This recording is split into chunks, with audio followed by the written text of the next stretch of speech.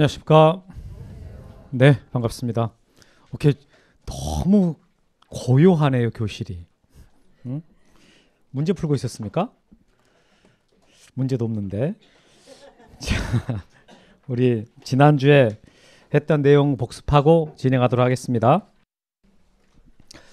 그 토지의 표시와 관련돼 가지고 제가 여러분들한테 지금 하고 있는 건데 자, 토지의 표시는 여러분 몇 가지가 있나요? 여섯 가지. 자, 소재, 다음에 지번, 지목, 면적, 경계, 좌표.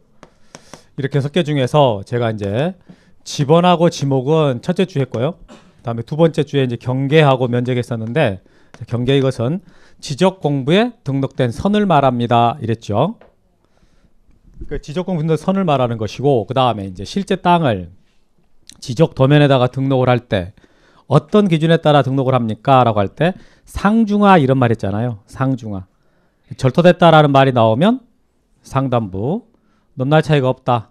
중앙 넘날 차이가 있다. 하단부. 그래 상중하. 이렇게 했던 거. 해면이나 수면에 접할 때는요 최대 만조의 최대 만수의. 공유수면 매립해서 제방을 쌓았을 때는 바깥쪽 어깨 부분 이렇게 다섯 가지 기준으로 해가지고 경계가 정해진다. 이런 거 봤었고. 그 다음에 이제 면적 가가지고요. 면적은 해당 필지에 대한 수평면상의 넓이다라고 했잖아요. 이 수평면상의 넓이기 때문에 아무리 땅을 깎거나 파버려도 대장에 써져 있는 면적이 바뀌지는 않는다. 이렇게 했습니다. 이제 실제 토지가 있으면 그 토지를 대장에다가 면적 얼마다라고 등록할 때까지 그 과정이 있었잖아요. 일단 지적 측량을 해서 경계나 좌표를 구하고 경계나 좌표에서 면적을 계산해낸다 그랬잖아요. 그걸 면적 측정한다 이렇게 말을 했고 면적 측정한 다음에 이제 끝수 처리를 거쳐서 대장에다 면적을 쓰게 돼 있는데 이때 면적 측정한다라고 했을 때는요 경계나 좌표에서 계산하는 거잖아요. 그러니까 경계나 좌표가 이게 새로 정해지거나 변경이 될 때 면적 측정을 하는 것이지 경계 좌표가 안 바뀌고 가만히 있어요. 할 필요 없는 거야. 그래서 지목 변경, 지번 변경, 합병 이런 거 할 때는 안 하고 뭐 분할한다거나 도시개발 사업한다 그럴 때는 합니다. 이런 거 봤었죠, 그죠? 그럼 이제 면적 지정을 했으면 숫자가 나왔을 거 아니에요. 그 나온 숫자를 바로 대장에 써버린 게 아니라 끝수 처리를 제차 거친다. 그 가격에서는 먼저 자릿수를 판단해야 되잖아요. 그래서 현재 제곱미터 단위까지 할 거냐, 제곱미터 이하 한 자리 단위까지 할 거냐, 즉 1의 자리냐, 소수 자리까지냐. 이거 축척 보고 판단하는 거죠. 그럼 축척을 보고 자릿수를 판단했으면 그럼 등록 자릿수가 정해졌다 이런 뜻이 돼요. 등록 자릿수가 정해졌다라는 말은 끝수도 알게 됐다는 뜻이잖아요. 그 다음 숫자가 끝수니까 그 끝수를 올려야 버려요. 원칙적으로는 음, 반올림하는 거지. 반올림으로 원칙적으로 청지하잖아요, 그죠? 근데 반올림을 하는 게 원칙이긴 한데 그때 뭐가 생각이 나야 된다고요? 오케이, 짝솔수가 먼저 떠오르면 안 된다 그랬죠. 5를 버릴 때가 있다. 이 말이 떠올라야 된다 그랬어요. 5를 버릴 때가 있다. 그래서 일반적인 반올림에서는 5를 올리지만은 이 면적에서 끝수 처리할 때는 5를 버릴 때가 있다.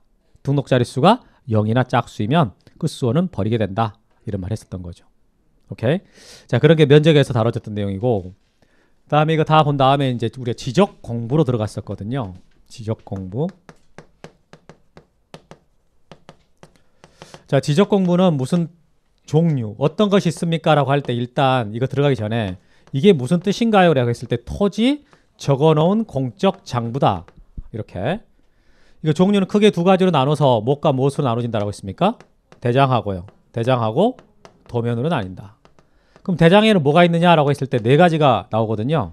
토지 대장 임야 대장 공유지 연명부 어, 대지권 등록부. 이렇게 네 가지가 있고 그럼 도면에는 뭐가 있나요? 라고 할 때 도면에는 지적도가 있고 임야도가 있고 별도로 경계점 음, 좌표 등록부가 있습니다. 이렇게 그래서 총 이렇게 일곱 개 지적 공부가 있다라고 했습니다.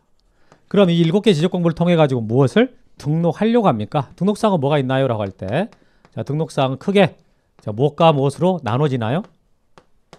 토지에 표시하고요. 자, 토지 의 표시와 뭡니까? 어, 소유자 등. 소유자 등이다. 이렇게 해서 여러분 지적공부 등록상 알고 있는 게 되게 도움되나요? 도움됩니다. 토지 표시와 소유자 등이다. 그럼 이제 각각 지적공부별 이제 등록사항에 뭐가 있나요 라고 했을 때 자, 토지대장과 임야대장은 똑같이 생겼다 그랬죠. 그래서 이렇게 이제 그거 보면은 이게 토지대장의 모양 이게 틀이 어떻게 잡히냐라고 했을 때 이렇게 해서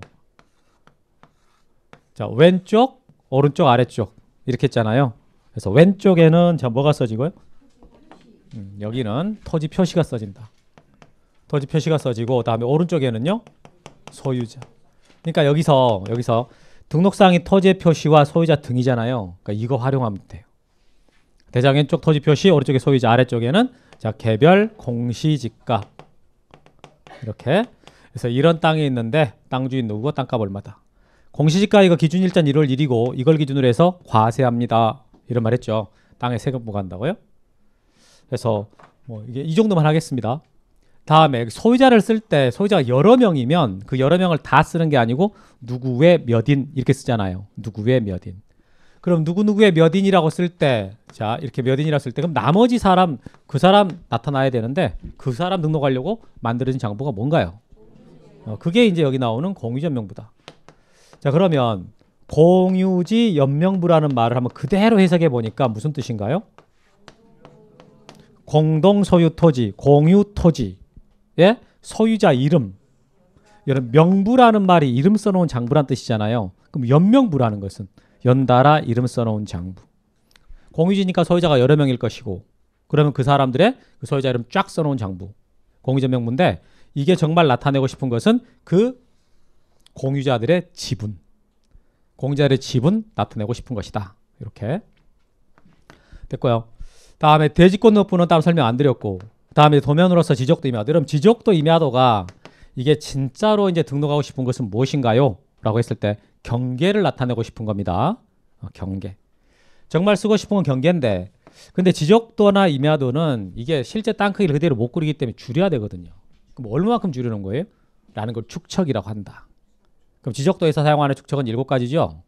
500분의 1, 600분의 1, 1000분의 1, 1200분의 1, 2400분의 1, 3000분의 1, 6000분의 1. 다음에 임야도에서 쓰는 건 딱 두 개밖에 없어요.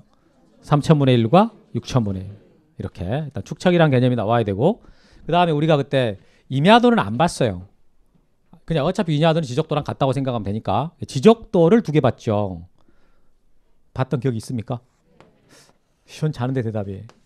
자 이게 하나 있었고 또 하나가 있었는데 자 이 지적도는 어떤 지적도였습니까? 일반 지역. 일반 지역 보통 지역의 지적도였고 이 지적도는요. 어, 경계점 좌표 등록부 시행지역의 지적도다. 이렇게 했단 말이죠. 그럼 이게 이제 테두리를 보고 도각선이라 그랬죠. 도각선. 뭐 이게 숫자가 써 있고 도각선 수치라 그러는데 그다음에 여기 이렇게 써진 게 이게 뭐였나요? 색인도. 그 다음에 도평리라고 하는 소재가 나오죠. 소재가 나오고 그 다음에 여기가 지적도라고 써졌거든요. 자, 이것을 뭐라 그런다 이걸?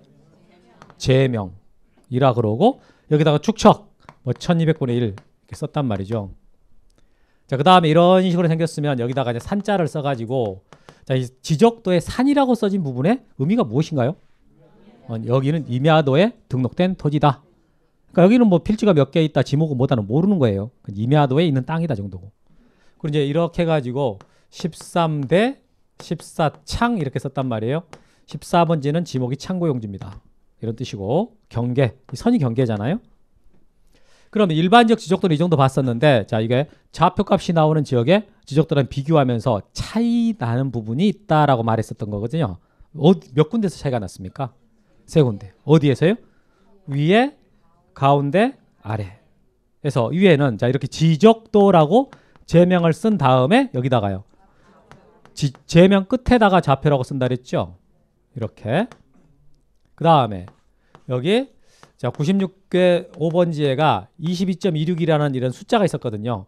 이 숫자는 이 경계점부터 이 경계점까지의 거리다.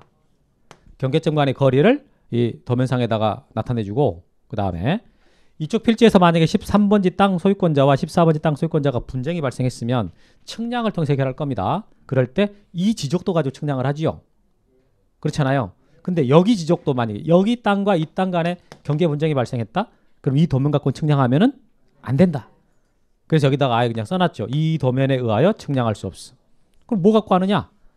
이 지역에서는 뭐가 있기 때문에 좌표값이 있기 때문에 좌표값 가지고 측량을 하지 이 지적도 가지고 하지 마세요. 이런 뜻으로 이게 써 있다. 그래서 세 군데에서 차이가 납니다. 이렇게. 다음에 이제 경계점 좌표 등록부 요거에 대해서 봤어요. 이건 무슨 뜻이냐라고 했을 때 그대로 그냥 읽으면 된다 그랬죠. 경계점을 좌표로 등록한 장부다. 이런 식으로 경계점을 좌표로 등록한 장부다. 이것이 진짜로 나타내고 싶은 내용은 뭔가요? 좌표. 그러면 이건 대한민국 모든 땅에 다 만들어진 게 아니고 어떤 토지가 만들어진다 그랬습니까? 도시개발 사업 지역. 그런 지역에 좌표값이 나오니까 그런 지역에 한정적으로 작성 비치합니다. 이런 말이 나왔어요. 그리고 이게 만들어지면은 나머지 게 안 만들어도 되는 게 아니고 반드시 뭐랑 같은 세트로 만들어져야 된다고요?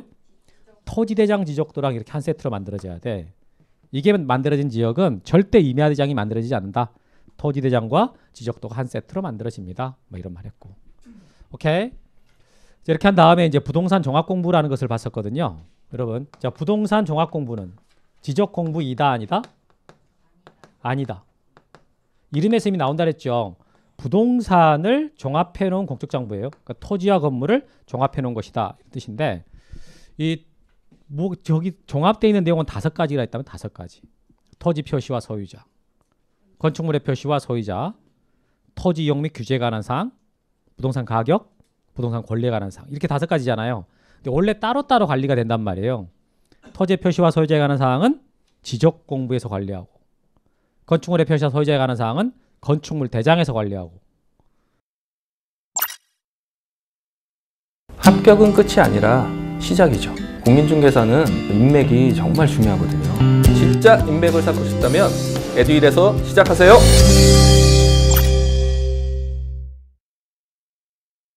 다음 토지용 및 규제에 관한 사항은 토지용 계획 확인서에서 관리하고 부동산 가격이라고 할 때는 개별 공시지가나 개별 주택 가격 말하는 것이고 그 부동산 권리라는 것은 등기부에 써진 것, 등기법 48조에 규정된 것이라는 게 등기부에 써진 내용이에요. 이런 거 따로따로 관리된 것을 다 어떻게 해놨다고요? 종합해놨다. 뭐 그런 내용이지. 자 그런 게 종합 공부였고, 자 이게 다 된 다음에 이제 우리가 이제 이게 4, 3장이었고요. 4장으로 넘어가지고 4장에서 어, 토지 이동이라는 걸 이제 했단 말이에요. 제가 여러분 지적법에서 가장 중요한 용어가 토지 이동이다 이런 말 했잖아요, 그죠? 정말 중요한 용어거든. 그래서 제 4장에서 이제 토지의 이동에 대해서 봤어요. 그럼 이게 무슨 뜻입니까? 라고 했을 때 이 토지라는 게 뜻이 뭐였습니까? 토지의 표시. 이동은요? 새로 정하거나 변경하거나 어, 말소하는 것을 말한다. 그러면 이 토지 이동할 때 여기 토지하고 이동 중에 어떤 단어가 더 중요하다 그랬습니까? 어, 토지가 더 중요한 것이다.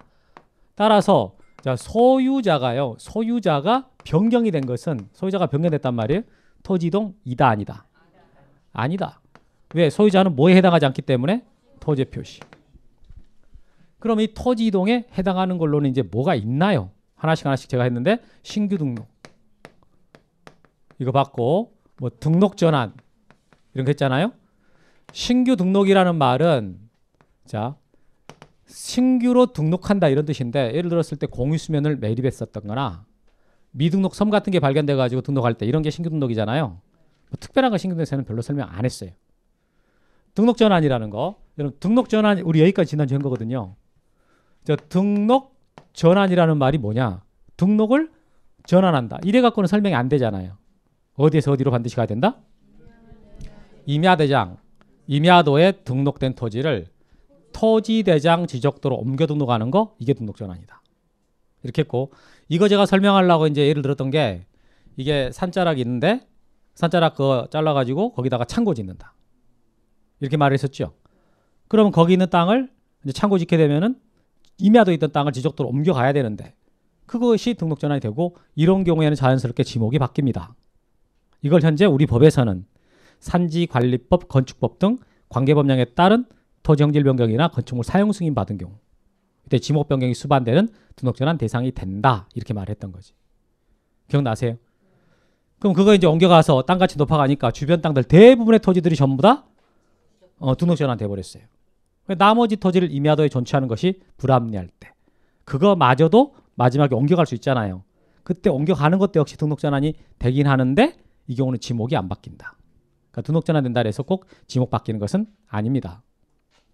그럼 등록전환 할 때 집원 어떻게 붙이나요?라고 했을 때 신규 등록이랑 똑같다. 그러니까 신규 등록하고 똑같이 인접토지 본번에다가 부번을 붙이는 게 원칙이고 예외적으로 본번을 붙입니다. 이런 거. 오케이? 그럼 측량은 반드시 하느냐? 아, 반드시 합니다. 측량을 반드시 해야 돼. 임야도에 있던 축척을 지적도로 옮겨가게 되면 축척이 훨씬 커진단 말이에요. 그러니까 반드시 꼭 측량을 하는 겁니다. 측량을 해가지고 이제 옮겨왔어요. 옮겨와서 거기서 면적을 계산해 보면은 자, 종전에 있는 면적이랑 비교했을 때 오차가 생긴다. 그 오차가 허용 범위 초과할 수도 있고 이내일 수도 있는데 이내든 초과든 될 면적. 새로 한갈로 한다. 다만 초과할 때는 종전에 임야대장 임야도를 직권으로 정정을 해버리고 이내일 때는 그냥 둡니다. 이렇게 이때 종전의 면적하고 새로운 면적 있잖아요. 새로운 면적. 그 새로운 면적을 우리 법에서는 뭐라고 표현한다라고 했습니까? 될 면적. 등록전환 될 면적 이렇게 표현한다고요. 여기까지가 지난주 배우신 내용이야. 어, 여기까지 제가 지난주 배운 내용을 읊고 있었는데 그냥 졸아버려 그 사이에 그 막가를 이용해서 자 어때요? 많이 생각나셨어요? 근데 여러분 아침에 이렇게 읊어드리는 게 도움이 됩니까? 집에서 여기 학원 올 때까지 복습 한 번이라도 하십니까? 한 번도 안 하시고 옵니까? 어, 학원에 와서 하시는 거예요? 집에서 아 인강을 한번 더 들으세요. 그럼 얼굴 보고 인강으로 보면 어떠세요? 실물이 낫지요. 자, 하여튼 여러분들 이렇게 그 remind 할 때 그때 한번 잘 따라오세요. 잘 잘 생각하면서 좋겠습니다. 자, 그럼 오늘 진도는 이제 분할부터예요. 거기 보시면 페이지로는 거기 363페이지 이제 분할 들어갑니다. 그래서 토지동 해당하는 것들로는 자 분할, 합병, 어, 지목 변경, 바다로 된 토지의 등록 말소 뭐 이런 거 쭉 나올 거예요. 그 다음에 축척 변경까지 축척 변경, 도시개발 사업. 자 지금 제가 여러분들에게 이렇게 토지동이다라고 설명해 드릴 내용이란 말이에요. 여기까지. 그럼 이제 분할을 보는데 여러분 분할은 딱 뭐 내용 개념을 설명 안 한다 하더라도 여러분 그냥 이해되죠, 그죠? 어, 저게 뭐예요, 분할이라는 게? 나누는 거. 이제 공부를 안 했을 때 그렇게 말을 하지만 한 필지를 두 필지 이상으로 나누어 등록하는 거. 이게 등록이 대회로 발생하니까 그래서 한 필지를 저 밑에 보세요 개념 나옵니다. 이 1필지를 두 필지 상으로 나누어 등록하는 것 이걸 말한다. 확인했어요. 그럼 이 분할이라는 것은 어떤 경우 할 수 있을까 넘겨보시면 대상 토지가 나오는데 이게 지금 네 가지가 나오거든요. 네 가지가. 자 칠판 보십시다. 여러분들 책을 안 보고요. 나 이런 경우에 땅을 분할할 수 있을 것 같은데요. 하고 생각나는 거 아무거나 말해봐요. 어, 잘라서 팔 때, 잘라서 팔 때. 그러니까 한 필지가 이렇게 있는데 한 필지가 있는데요. 이, 이 필지에 여러분 예를 들어 천평이라고 보세요. 천평인데 천평 중에서 500평을 팔고 싶어요. 500평을. 그럼 분할 안 하고도 팔 수 있겠습니까? 반드시 분할해야 될까요? 어, 분할 안 하면 한 필지에 대한 일부의 소유권 이전이 안 됩니다. 그래서 반드시 이렇게 소유권을 이전하고 싶잖아요. 그럼 분할해 줘야 돼요. 이럴 때 분할 사유가 되고 또 자, 이게 땅이 한 필지가 이렇게 있어요.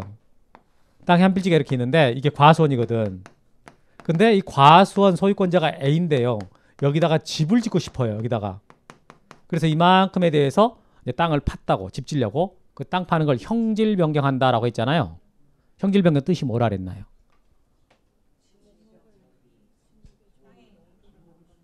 오, 그 상당히 기억나게 설명했던 것 같은데 깨끗해졌네요. 삽질이다 그러지 않아요? 삽질? 형질 변경은 뭐라고요? 삽질. 그게 무슨 말인데요? 또 설명이 필요한가? 땅을 깎거나 파거나 메우거나 덮어버린 거 있잖아요. 그런 걸 형질 변경이라고 그래요. 그럼 깎는다, 판다, 메운다, 덮는다라는 거 다 뭐 하는 거라고요? 삽질하는 거다. 이렇게 말했던 거지. 이게 그러면 여기다가 집 짓겠다고 이게 형질 변경 공사를 준공시켜 놨어요. 여기를 그러면 이거 여러분 과수원 안에 있는 주거용 건축물 부지는 지목이 뭐였나요? 되었잖아요. 과손 안에 있는 주거용 건축물 부지의 지목은 되기 때문에 이것을 한 필지로 놔두면 안 돼요. 놔두면 안 되고 어떻게? 분할해 줘야 된다고. 그래서 이런 경우 이제 1필지의 일부가 형질 변경 등으로 용도가 다르게 됐을 때 그때 분할합니다. 이런 경우. 그러니까 우리가 일반적으로 생각하기에 가장 많이 이런 경우에 분할하겠구나 라고 생각할 수 있는 대부분의 것들은 이 두 가지 들어갈 거예요. 그 여러분 예를 들어서 이게 상속을 받았어요. 뭐 삼형제가 그럼 삼형제가 한 뭐 한 2,000평짜리 이3,000 3,000평짜리 땅을 하나 상속 받았다. 그러면서 야 우리 공동명의를 해놓지 말고 나누자. 이렇게 할 수 있겠잖아요, 그죠? 그럼 공유물 분할한다 그러는데 그것도 역시 분할할 수 있는 사유가 될 거 아니겠습니까? 그게 여기에 들어가요. 여기. 소유권 이전 이게 할 때 필요한다. 다음에 이제 있는 게 세 번째 것까지만 할게 네 번째 거 안 하고. 그럼 땅이 이렇게 생긴 땅이 있어요. 이러, 이렇게 생긴 땅이 있어요. 이렇게 A 땅, B 땅인데 경계가 이렇게 생겼어요. 경계가 어때요? 아름답습니까? 이거 땅 쓰기 되게 불편하겠죠. 그래서 토지를 이용하는 데 있어 가지고 이렇게 불합리한 지상 경계를 시정하기 위해서 이렇게 분할해서 어, 이렇게 좀 편하게 써보자. 이런 식으로 하는 것도 가능하다. 이렇게 뭐 네 번째 거 분할이 포함된 개발 행위가 받았다 있는데 뭐 이런 것 됐고요. 그래서 일단 세 가지 정도 기억하는 게 처음에는 도움 되겠습니다. 그래서 거기 보시면 자 지적 공부에 등록된 1필지 일부가 형질 변경 등으로 용도가 변경된 경우다라는 말 있나요? 364페이지 맨 위에 그 대상 토지 박스 안에 1번. 그러면 이거 읽으면 여러분 머릿속에는 어떤 예가 떠오르라고요? 아니 그 삽질이 아니고 과선 안에 집 짓는 거. 물론 삽질은 해야지. 어, 과선 안에 집 짓는 거. 요거. 그 다음에 두 번째. 소유권 이전 매매를 위해서 필요한 경우다. 이런 말 있잖아요. 이제 이게 뭘 말하는 거고요? 잘라서 파는 거. 매매하는 거잖아요. 잘라서 파는 거. 다음에 세 번째 거. 토지 용상 불합리한 지상 경계를 시정하는 경우다라는 말 나왔잖아요. 그럼 이런 경우가 이제 지그재그 땅 이런 거. 알아듣겠어요? 자 그러면 여기 좀 봐봐요. 여러분 이 세 가지 중에 세 가지 중에 하나만 소유권자한테 와서 신청을 하라 의무를 두고요. 두 개는 의무를 안 두거든. 찍어 보세요. 여러분 생각에 1, 2, 3번 중에 몇 번이 의무가 있을 것 같아. 참고로요. 소유권자가 아쉬운 경우면은 안 시켜도 돼요. 소유자가 아쉬운 경우만 알아서 올 텐데 굳이 시킬 필요가 없잖아요. 그럼 이 경우는 소유권자가 아쉬운 경우예요? 소관청이 아쉬운 경우예요? 누가 아쉬워요? 하, 이렇게 막 땅을 불편하게 쓰는 걸 보고 있으면 소관청이 마음이 아파 죽겠어요? 그냥 불편함을 감수하고 그냥 계속 쓰든가 정 불편함 오든가 누가 판단하겠어요? 소유자가 알아서 하는 거지. 아, 막 누가 불편한 걸 보고 있으면 옆에서 못 견딥니까 여러분들 혹시? 이건 지가 알아서 하는 거야. 그냥 불편함 오겠지. 냅둬요 이거. 오든가 말든가. 의무 없어요. 그럼 이거 두 번째 거 이거 소유자가 아쉬운 경우에요. 소관청이 아쉬운 경우에요. 누가 아쉬워요? 저거 잘라가지고 분할이 안 되면 소유권 못 넘겨주거든요. 그럼 소유권 넘겨주지 않으면 매수인은 잔금을 치르지 않을 거예요. 그렇지 않겠습니까? 잔금 받고 싶으면 빨리 잘라야지. 그렇기 때문에 저거 안 시켜도 지가 와요 소유권자가 알아서. 그래서 2번, 3번 의무가 없습니다. 그럼 1번은 1번 의무가 있을까요? 여러분 저거 누가 과선 나무 베놓고 거기다 집 질라 그랬어요? 그런 거 안 했잖아. 그럼 소유자가 아쉬운 경우가 아니고 소, 뭐 소유자가 아쉬운 경우인가? 소관청이 아쉬운 경우인가? 여러분 보세요. 여러분이 과선 주인이라고 쳐봐요. 그럼 여러분들은 꼭 저기 과수원에서 나무 베내고 집진 데를 따로 한 필지 만들어 가지고 지목을 대로 바꿔야 좋겠습니까? 그런 거 관계없이 그냥 집만 짓고 살기만 하면 되겠습니까? 그치 굳이 그걸 잘라 갖고 한 필지를 만들 필요가 없잖아요. 거기 땅주인 입장에서 본다면. 근데 이 사람은 집을 짓고 살고 있는데도 불구하고 여전히 한 필지로 관리가 되고 있다 과손으로 그러면 국가는 관리를 잘못하고 있는 게 되잖아요. 이미 용도가 바뀌고 있는데. 그 위반, 법 위반 상태가 되잖아. 과손 안에 있는 건축물 부지 지목 대로하라 그랬는데. 그러니까 저 경우는 소관청이 땅주인한테 너 와라. 분할 신청해라. 라고 의무를 두는 거예요. 그래서 1번만 1번만 의무가 있고 밑에 것은 의무가 없는 게 왜 여러분 밑에 것들 의무가 없다고요? 소유자 지가 아쉬운 경우라 안 시켜도 오거든. 그러니까 의무를 안 두는 겁니다. 알겠어요? 그게 밑에 그 신청 의무 쪽에서 나오는 말인데 일단 아 이런 말이 있구나 정도 확인하면 되겠습니다. 다음에 지적 정리로 내려가 볼게요. 여러분 그 분할할 때 집어는 어떻게 합니까? 필- 필지 개수가 늘어나잖아요. 늘어나기 때문에 그때 집어는 어떻게 붙인다라고 했어요? 1필지는 분할 전 집원으로 하고 나머지 거 어떻게 나머지 거. 좀 말이 길었는데 부번 부번 이렇게 오라 그랬죠. 부번 부번 그래서 본번의 최종 부번 다음 순번으로 부번을 붙입니다. 이렇게 외울 때는 어떻게 온다고요? 부번 부번 이렇게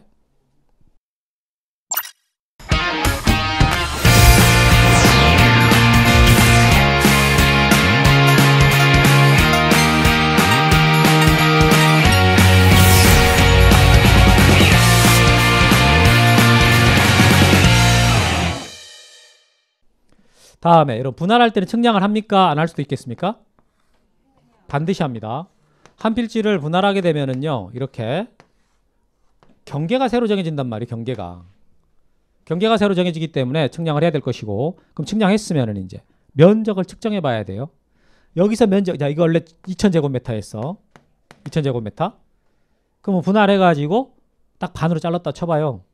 그러면 이 필지 두 개 더해 보면 얼마가 나와야 될까요? 당연히 2천이 나와야 되겠지. 여러분 지금 분할하기 전과 후에 하는 게 아무것도 없어요. 그냥 있는 도면 거기 그 상태에서 선만 그어놓은 거야. 그러니까 당연히 면적은 2천이라고 동일해야 되잖아요. 그런데도 불구하고 이 분할한 다음에 측량한 다음에 여기서 면적을 측정해 봤더니 더해 보니까 오차가 생기더라는 거예요. 근데 오차가 오차가 허용 범위를 초과하는 경우도 있을 거고 이내에서 조금 차이가 날 수 있을 텐데 자 조금 차이가 났어. 조금. 예를 들어서 더해봤더니 2002가 나와. 2002. 2제곱미터가 더 많은 거란 말이에요. 그럼 2000분의 2니까 뭐 0.01인가요? 그 정도면 오차범위 내려갈게요. 그죠? 그럼 그거 어떻게 해야 되겠어? 어, 버려요, 그냥. 버려버려. 그 정도는 그냥 어떻게 한다고요? 버려버리라고. 버려가지고 2000이라고 써버리는 거야, 그냥. 천일, 천일 이렇게 계산됐단 말이에요. 그럼 천, 천 써버리는 거지. 이렇게. 그 만약에 더해봤더니 1998이야. 이가 모자라. 그럼 어떻게 해요? 오케이, 더해버려. 999 나왔고 999 나왔어요. 그럼 일씩 더해갖고 쓸 때는 천이라고 써버린다라는 거지. 그래서 이걸 보고요. 면적에 따라 나눈다 이렇게 표현합니다. 오차 허용범위 이내일 때는요. 그 오차 그 숫자 있지 않습니까? 그것을 면적에 따라 나눠가지고 분할되기 전하고 똑같이 맞춰놔요. 똑같이. 그럼 초과할 때는 차이가 많이 나버렸다. 더해봤더니 뭐 한 200제곱미터가 남아버리거나 모자라버려. 그럼 차이가 너무 많이 난 거 아니에요? 자, 그럴 때 어떻게 할까? 이럴 때는 여러분 분할하기 전과 후에 지금 특별한 게 없었고 딱 선만 그었을 뿐이었잖아요. 근데 이렇게 차이가 많이 난다라는 것은 논리적으로 설명이 안 돼요. 그것은 어떻습니까? 뭔가가 잘못된 거죠. 그럼 새로 한 게 잘못됐겠어요? 종전의 게 잘못됐겠어요? 종전의 거. 그래서 종전의 거 어떻게 해버린다고요? 정정해버려. 고쳐버린다고. 그래서 똑같이 맞추는 거예요. 그래서 밑에 보시면 거기 자 지적정리 집어는 분할 후의 필지 중 1필지 집어는 분할 전 집어으로 하고 나머지 필지 집어는요 본번에 최종 부번 다음 순번으로 부번을 붙입니다. 거기 동그라미는 부번 부번 이렇게 치면 되겠습니다. 다음에 2번 자 경계와 면적을 새로 정하기 위해서요 지적 측량과 면적 측정이 필요하다. 당연히 필요하겠죠. 그래서 분할 전후 면적에는 증감이 없어야 되므로 거기 밑줄 쳐요. 면적에는 증감이 없어야 되므로 거기 줄 칩니다. 분할을 위해서 면적을 정함에 있어 오차가 발생했을 때 오차가 허용범위 이내 자 이내 동그라미 이내일 때는 오차를 분할 후 각 필지 면적에 따라 나누고 거기 줄 쳐요. 오차를 분할 후 각 필지 면적에 따라 나누고 이 말이 무슨 뜻이라고요? 어, 넘을 때는 버리고 모자랄 때는 올리고 더하고 이런 뜻입니다. 조금씩 초과할 때 동그라미 초과할 때는 지적 공부상의 면적 또는 경계를 정정해야 됩니다. 정정해야 됩니다. 어, 줄 쳐주세요. 이렇게. 자 여기까지. 어때 분할에 대한 내용 그렇게 복잡하거나 어렵진 않죠? 음.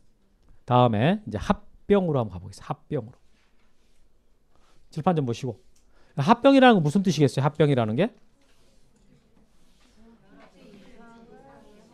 아까 분할은 한 필지를 두 필지로 나누어 등록하는 거라 그랬잖아요. 합병은 두 필지 이상의 필 토지를 한 필지로 합해서 등록하는 거예요. 그럼 합병을 하고 나잖아요. 그럼 항상 한 필지가 되는 거야. 다섯 필지를 합병하든 오십 필지를 합병하든 백 필지를 합병하든 합병의 필지는 항상 몇 개라고요? 하나. 제일 밑에 보세요. 개념. 자, 합병이란 두 필지 이상을 1필지로 합하여 등록하는 것을 말합니다. 라고 했거든. 자, 한번 칠판 봐봅시다. 이런 한 필지가 되려면 필요한 요건이 있어요. 합병이 되려면. 그러니까 합병이 되기 위해서는 이제 요건이 필요하거든요. 물어보겠습니다. 지금 우리 학원 있는 데가 숭인동이잖아요. 종로구 숭인동. 숭인동 옆에가 무슨 동이에요? 창신동? 그러면 창신동하고 숭인동하고 걸쳐갖고 이렇게 한 필지가 있을 수 있어요? 안 돼요? 여러분 교실이 좀 약간 따뜻하지요? 그래서 그냥 하, 공부 열심히 하고 싶어 수업도 재밌고 그러는데 막 눈꺼풀이 내려와 버리죠 막. 이 이불을 덮어야 되는데 이불을 못 덮고 그냥 눈꺼풀을 덮는데. 자, 창신동하고 숭인동하고 이렇게 걸쳐가지고 걸쳐가지고 이렇게 한 필지가 있을 수가 있어요? 없어. 이렇게 없어. 와, 선생님 나 그렇게 땅 갖고 있는 사람 본 적이 있는데요? 이런 저렇게 땅 갖고 있는 사람 본 적이 있어요? 저러면 저러면 땅이 두 필지야. 창신동 한 필지, 숭인동 한 필지. 이렇게 저렇게 걸쳐 있을 수는 있는데 저럼 땅이 한 필지가 아니라고. 그럼 두 필지가 되는 거예요. 한 필지가 되려면 반드시 같은 동 안에가 있어야 돼. 동이 달라버리면 한 필지 안 돼요. 어, 그래서 합병을 하려고 그러잖아. 그럼 같은 동 안에 있어야 땅을 합병할 수 있지. 동이 달라버리면 합병 안 돼요. 첫 번째 조건이고 다음에 두 번째 거. 그러니까 이것은 만 이렇게 땅을 갖고 있는 사람이 있다면 숭인동 한 필지, 창신동 한 필지가 되는 거예요. 그 다음에 이게 두 필지인데 여기가 지목이 전이고요. 여기는 지목이 대예요. 지목이 달라요. 그 합병할 수가 없어요. 합병하고 싶어 죽겠어 그냥. 그럼 어떻게 하면 돼? 지목을 먼저 바꿔야 되겠죠. 어떻게? 대를 전으로 바꿔 이렇게? 그래서 일단 지목을 합게 만든 다음에 그 다음에 합병이 되는 거다. 오케이? 그 다음에 소유자가요. 소유자가 달라. 여기 소유자 A고 여기 소유자 B예요. 이런 합병 된다 안 된다? 안 돼요. 소유자가 일단 갖게 만들어진 다음에 그 다음에 합병이 되는 겁니다. 오케이? 그래서 거기 첫 번째 합병 요건. 자 토지가 다음 어느 하나에 해당할 경우에는 합병할 수가 없다 그랬거든요. 자 합병할 수 없다의 줄을 치세요. 합병할 수 없다. 합병할 수 없다. 어떤 경우 합병을 못하냐 그래가지고 박스에 보니까 1번 합병하려는 토지의 지번 부여 지역 지목 또는 소유자가 서로 달라 그러면 안 돼요. 여러분 그 지번 부여 지역이라는 말은 어떻게 해석하라 했습니까? 동이나 리 지번을 부여하는 단위가 되는 지역이잖아요. 무슨 동 무슨 리 이렇게 붙이거든요. 그때 동리가 지번 부여기 지역이 된다. 동리가 지번 부여 지역이 된다. 동이 같아야 한 필지 된다. 지목이 같아야 된다. 소유자 같아야 된다. 다음에 각 필지 집안이 연속돼 있지 않다 그랬잖아요. 이게 무슨 말이냐? 여기 좀 보세요. 이 땅이 이렇게 한 필지가 있고요. 또 여기 이렇게 한 필지가 있어요. 이렇게 땅이 두 필지 붙어 있는 거예요. 이런 합병할 수 있다 없다? 합병할 수 있다 없다? 있다. 합병하려면 땅이 어떻게 돼 있어야 된다고요? 붙어 있어야 돼. 그걸 여기서 집안이 연속돼 있다 이 말이에요. 붙어 있어야 된다 뜻이거든 이 말이. 그러니까 이런 땅은 이렇게 자 이런 땅은 합병이 된다 안 된다 이런 땅은 합병 안 돼. 하, 합병 이거 A 땅 이거 A 땅인데 A가 합병하고 싶어 죽겠어 아주 그냥 그럼 어떻게 해야 돼요? 땅을 붙여야지. 이렇게라도 붙여야 돼 이렇게라도 이렇게라도 땅이 붙어 있어야 합병이 돼요. 떨어 있으면 떨어져 있으면 합병이 안 돼. 오케이? 어, 땅이 붙어 있어야 되고 두 번째 거, 세 번째 거. 자 지적도 및 임야도의 축척이 서로 다르면 안 되거든요. 같아야 된다. 이게 무슨 말이냐면 자 예를 들어서 여기 봐요. 이쪽 이쪽에는 1200분의 1 축척을 사용하는 지역이에요. 이쪽 지역은. 근데 이쪽 지역은 600분의 1 축척을 사용하는 지역이란 말이에요. 축척이 다르죠. 그럼 땅이 붙어 있어도 한 필지로 안 돼요. 합병하려면 같은 축척 안에 있어야 돼. 같은 축척 안에 있어야 합병할 수 있습니다. 아니, 그 말이 거기 세 번째 거. 다음에 자, 칠판 한번 보시고 이렇게 한 필지 땅인데요. 이게 한 필지거든. 한 필지인데 여기는 등기가 돼 있는 부분이고요. 여기는 미등기다. 이런 경우가 있을 수 있겠어요? 불가능할까요? 있을 수 없어. 이렇게는 등기를 못 해요. 이게 한 필지라 그랬지, 한 필지. 한 필지인데 여기는 등기돼 있고 여기는 미등기 상태다. 그런 경우 불가능하다. 그러니까 한 필지 중에 일부가 등기되고 일부가 안 된 경우는 없는 거예요. 그러면 아예 등기가 안 돼 있는 한 필지가 있을 수 있겠습니까? 있을 수? 미등기 토지가 있을 수 있냐고 지금 미등기 토지. 있을 수 있어. 그러면 등록은 돼 있는데 등록은 돼 있는데 등기가 안 돼 있는 그런 땅이 있을 수 있을까요? 있을 수? 많아. 꽤 많아요.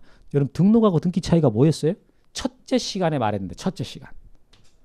지적 공부상에다가 기록하는 것은 등록이고 등기부상에다가 기록하는 것은 등기다. 이렇게 말했잖아요. 그럼 미등록 땅들은 거의 없어요. 우리나라 땅들 거의 대부분 다 등록돼 있습니다. 뭐 일부 안 된 것이 있긴 할 수 있겠지만 대부분 돼 있어요. 근데 등기 안 된 땅들은 꽤 된단 말이에요. 왜 차이가 있을까? 여러분 등록이 안 되면 세금 부과가 안 돼요. 왜냐하면은 그 대장에 써져 있는 개별 공시지가 기준으로 세금 부과한다 그랬잖아요. 그러니까 등록 자체가 안 돼 버리면은 세원 확보가 안 돼 있는 거야. 그러니까 세금 부과를 못 하는 거지. 근데 등록은 됐는데 이 땅 주인이 등기를 안 하고 있단 말이에요. 그러면 국가가 손해 본 거 있어요, 없어요? 세금 못 걷나요? 아니에요. 그 사람 만약에 팔고 싶죠, 그 땅. 팔고 싶으면 등기가 안 된 상태잖아. 그럼 소유권 이제 못 시켜줘요.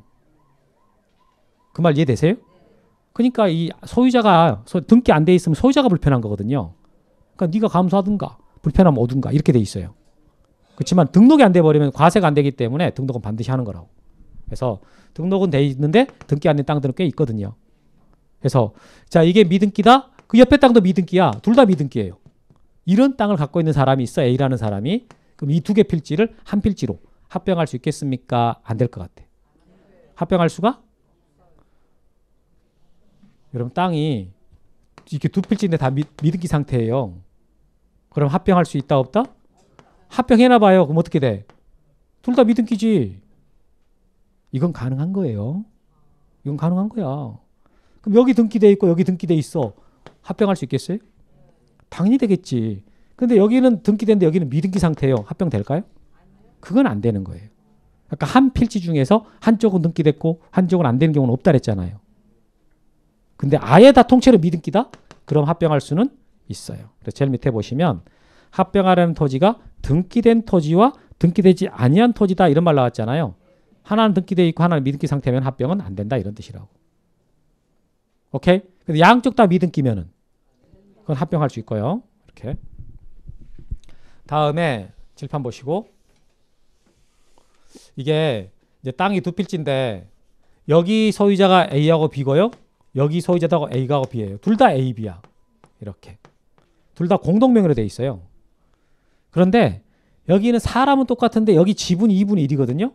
A 2분의 1, B 2분의 1. 근데 여기를 보니까 A가 3분의 2고요. B가 3분의 1이에요. 양쪽의 지분이 지금 다르죠. 이러면 합병된다 안 된다? 안 돼요. 공유 관계일 때는 지분까지 같아 합병할 수 있어요. 지분이 달라버리면 합병을 못 한다고. 그러니까 소유자가 같다라고 표현할 때는요. 공유에서는 지분까지 같다라는 걸 전제라고 하는 말입니다. 오케이. 그 다음에 그럼 이런 거 합병하고 싶다 그러면 어떻게 해야 되겠어요? 어, 지분을 갖게 만들어야 되겠지. 이렇게.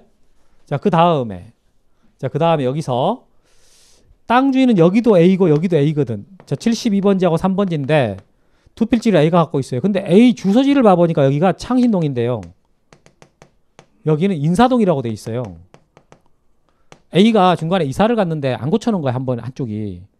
그럼 다른 거 다 보면 A가 소유자 맞는데 주소만 다르게 써. A의 주소가 지금 다르게 써 있는 거예요. 이런 땅 합병할 수 있다 못한다? 못합니다. 소유자 같아야 된다라고 할 때는 뭐까지 같아야 된다고요? 주소까지 같아야 되는 거예요. 그 제일 위에 써진 게 그거야. 5번에. 합병하려는 토지 소유자별 공유 지분이 다르거나 끊어주고 그 다음에 소유자가 주소가 더 다르잖아요. 그 합병할 수 없는 거예요. 공유일 때는 지분까지 같아야 되고요. 소유자 한 명일 때는 주소까지 같아야 그래야 합병할 수 있습니다. 이런 뜻이 되는 거라고. 오케이?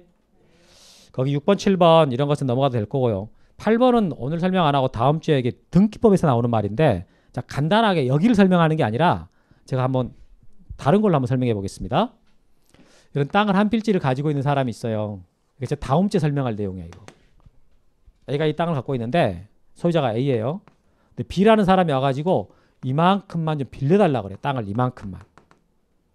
그럼 여러분 이만큼 빌려줄 수 있어요? 못 빌려줘요? 이만큼? 빌려줄 수가 있어. 이런 빌려준다라고 할 때 그런 권리가 이제 뭐가 있는 거예요? 뭐 전세권이나 뭐 지상권, 임차권 이런 것들이 빌려주는 권리거든요. 이런 것들이 그러면 토지 일부에다가 이런 거 설정하는 건 된다 안 된다? 됩니다. 그때 이 땅 분할해야 되겠습니까? 안 하고 살 수 있겠습니까?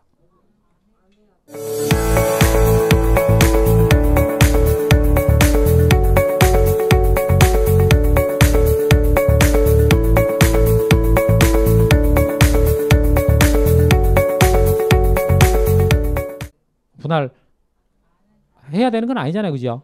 한 필지 상태에서 빌려줄 수 있잖아. 어, 이렇게. 그 다음에 이 땅이 시가로 한 3억 해요. 3억짜리 땅을 A가 갖고 있는 거야.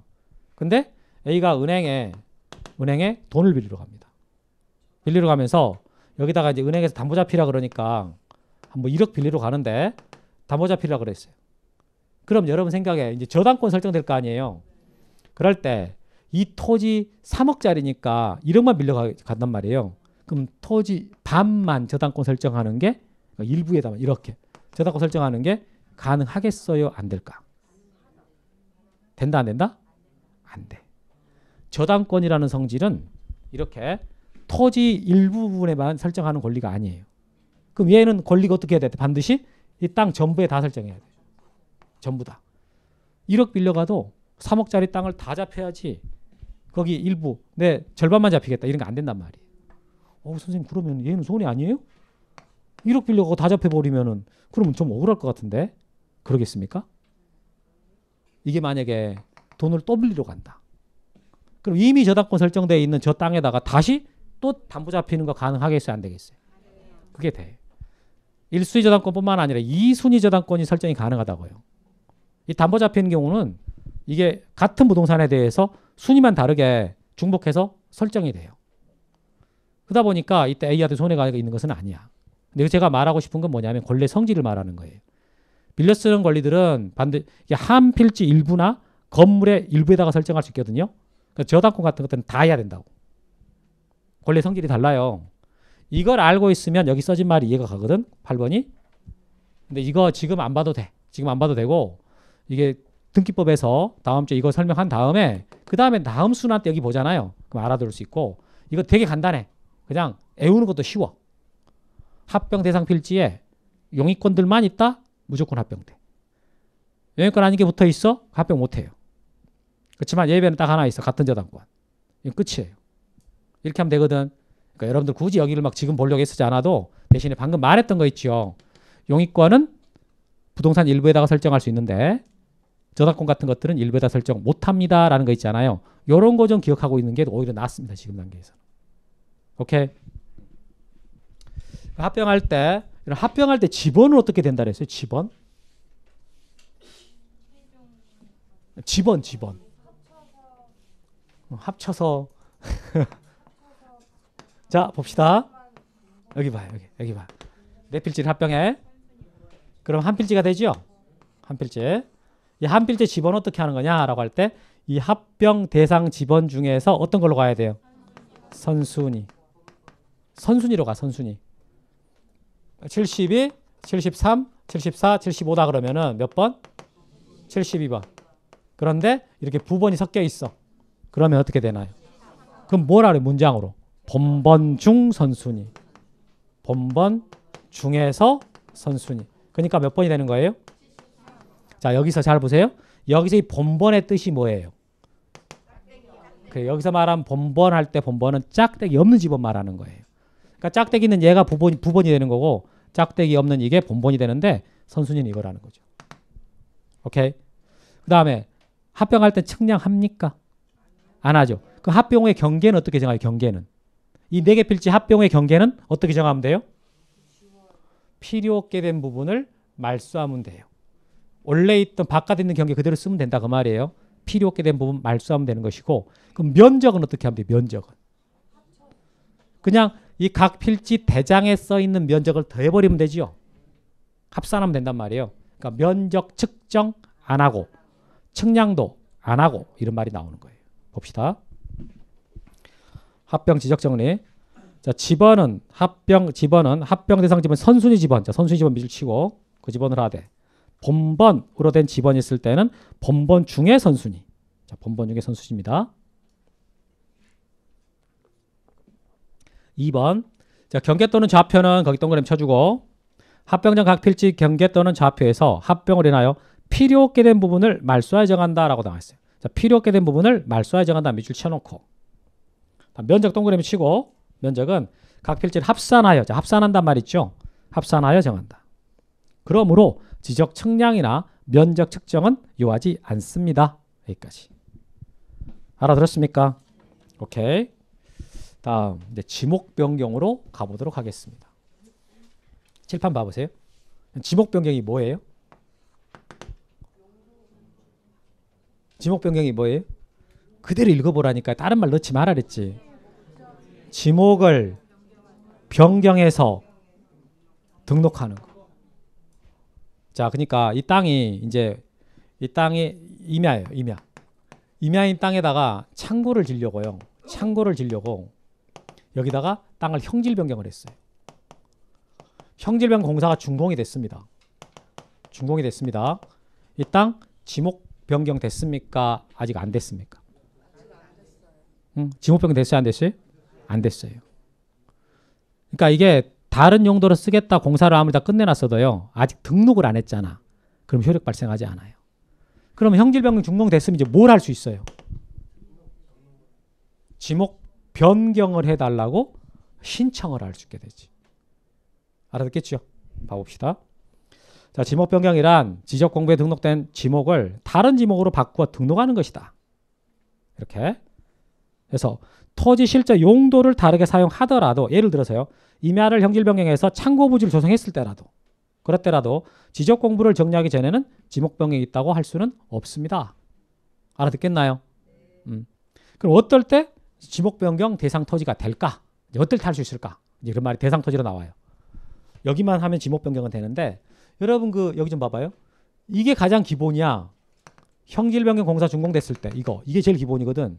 근데 자기 땅이라 해서 마음대로 땅 파거나 자르거나 못한다 그랬잖아요. 어, 그러면 뭘 해야 된다 그랬어요. 어떤 법에 의해서 허가를 받아야 돼. 그래서 이게 공사가 준공되면 그때 지목 바꿔주세요. 그래서 거기 보니까 기억번에 국토계획 및 이용에 관한 법률 등 관계법령에 따른 토지 형질 변경 등의 공사가 준공된 경우다 이 말 나왔어요. 자 지금 문장 읽은 것 중에 제일 핵심적인 표현은 뭐예요?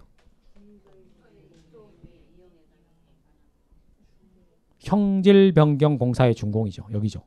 형질 변경 공사의 준공. 공사가 준공돼야 그래야 지목을 바꿔주세요 라고 할 수 있다 그 말인데 그런데 이제 형질 변경을 마음대로 못하고 어떤 법적 근거가 있어야 되잖아요. 그래 거기다 국토계획법을 써준 거지. 이 법에 따른 이렇게 나오는 거지. 알아들었어요? 3번 뭐예요? 3번. 3번 디귿번. 디귿번 한번 읽어봐요.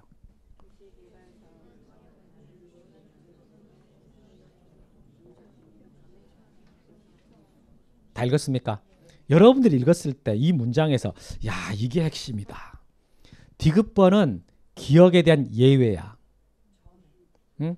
디귿은 기억에 대한 예외거든. 그럼 제일 핵심적인 표현이 뭐겠어요? 오케이 공사 준공 전이에요. 공사 준공 전. 여기야 준공 전이라고. 원래 지목 변경을 언제 한다 그랬습니까?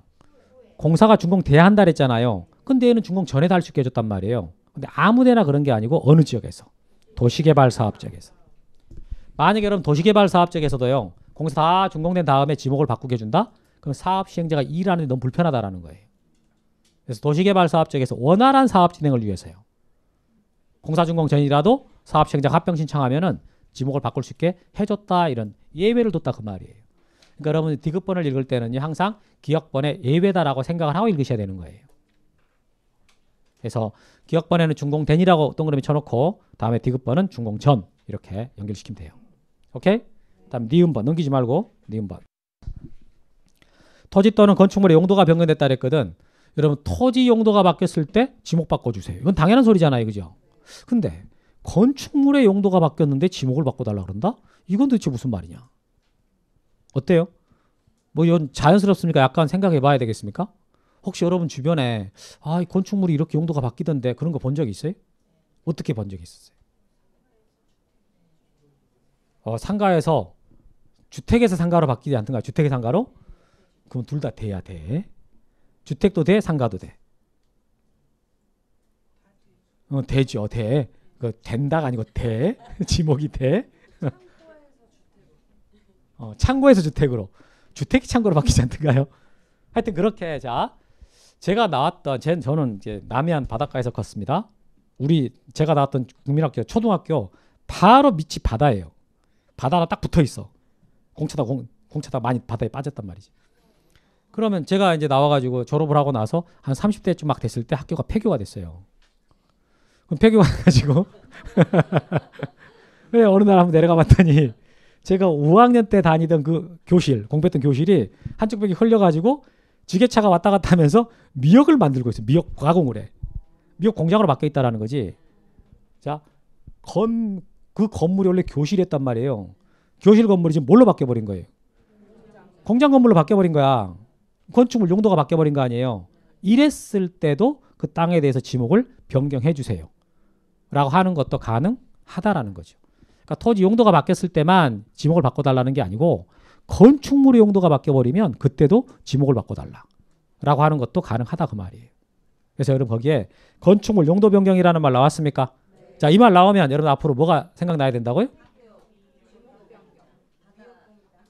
뭐 학교가 생각이 나든 미역 공장이 생각나든 잘 나는 걸로 해보세요. 일주일이 됐을 때도 뭐가 더 잘 날 것 같아? 학교가 잘 날 것 같아? 미역 공장이 잘 날 것 같아? 그럼 미역 공장으로 외우는 거요. 이렇게 이해됐어요? 오케이. 자, 지금 뭐 하셨습니까? 지목 변경을 신청할 수 있는 사유를 본 거야. 신청할 수 있는 사유. 형질병 공사 준공됐을 때 제일 기본이고. 그다음에 도시개발 사업 중에서는 공사 준공 전이라도 할 수 있는 것이고. 토지나 건축물의 용도가 바뀌었을 때 할 수 있는 것이다. 오케이. 그럼 여러분 지목 변경할 때는 측량을 하겠습니까? 안 할 것 같습니까? 응? 지목 변경할 때 여기 이거 할 때 측량을 할 것 같다 안 할 것 같다 안 하죠 왜 안 하겠습니까 측량이라는 게 뭘 알고 싶어서 하는 것이냐라고 했을 때 경계나 좌표 하려고 하는 거예요 경계나 좌표 그럼 이거 이제 구해지는 거고 이거 알면 이거 구해지는 거거든 그러니까 요거 세 가지거든 측량을 통해서 알 수 있는 정보는 이 세 가지예요 근데 지목은 전혀 상관이 없잖아 그러니까 지목 바뀌는 것은 경계나 좌표 면적이랑 무관하기 때문에 이거 바꿀 때는 측량할 필요가 없다라는 거죠. 오케이? 거기까지. 따로 줄은 안 칠게요. 어, 벌써 시간이 이렇게 돼 버렸어요. 한 것도 별로 없는데. 음, 그래서 우리 그렇지만 우리는 쉬어야 되니까 쉬지 말까 한 것도 별로 없는데 바다는 땅 등록 말소까지 해야 하고 쉴까요? 쉬었다 합시다 그러면 쉬었다 하겠습니다. 그런데 말입니다. 에듀윌에선 이 모든 혜택의 유료 회원 수강료를 돌려받을 수도 있다는 사실 알고 계셨습니까? 진짜 10만 원을 주더라고요. 어, 한 달에 100만 원 버는 친구도 봤어요. 이게 진짜 대박이라니까요. 네. 친구 추천을 하시고 친구가 유료 회원가입을 하게 된다면 10만 원을 입금해 드리고 있습니다. 친구만 추천해도 10만 원을 입금해주는 에듀윌 친구 추천 이벤트. 참으로 놀라운데요. 그리고 이 모든 혜택들을 많은 수강생들이 동행해 주길 진심으로 부탁드립니다.